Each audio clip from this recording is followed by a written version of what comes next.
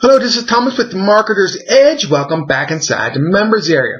Now, it is Sunday, January the 14th. Just got a couple quick updates for you. First off, the holiday promotional contest is still ongoing, okay? It doesn't end till the 22nd.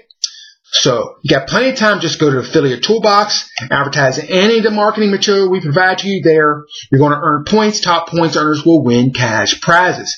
Uh, click on the competitions link there in the members menu. Uh, the leaderboard is updated there daily. Okay.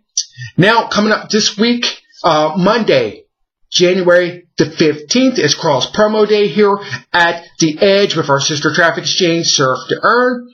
To participate, simply uh, surf 250 websites here to claim your surfer rewards.